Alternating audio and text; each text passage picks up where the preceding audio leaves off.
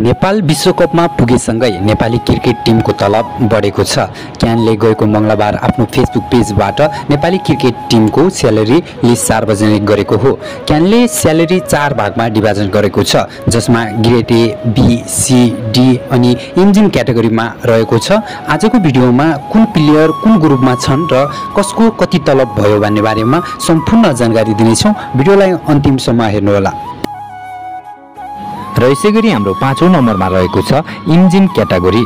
Engine क्याटेगोरीमा हामीले दिपेश कटेल रूपेश सिंह रिजन ढकाल बिपिन खत्री देव खनाल अर्जुन घर्ती हेमन्त धामी गरेर सात प्लेयरलाई देख्न सक्छौँ र यस सात प्लेयरलाई क्यानले मासिक महिनाको पच्चिस हजार रुपियाँ पे गर्ने गर्छ।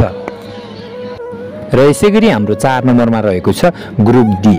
ग्रुप डीमा हामीले पवन सराप सागर ढकाल अनिल शाह विवेक यादव आकाश चन्द बसिर अहमद सूर्य तामाङलाई देख्न सक्छौँ।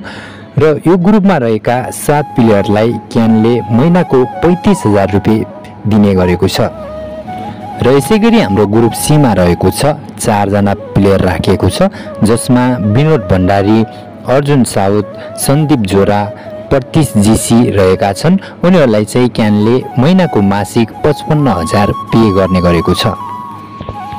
र यसै गरी हामीले ग्रुप बीमा चाहिँ कुशल मल्ल गुलसन झा भीम सार्की ललित राजवंशी आरिफ शेख अविनाश बोहरा गरेर छ प्लेयरलाई देख्न सक्छौँ। उनीहरूलाई चाहिँ क्यानले महिनाको सहत्तर हजार रुपियाँ पे गर्ने गरेको छ।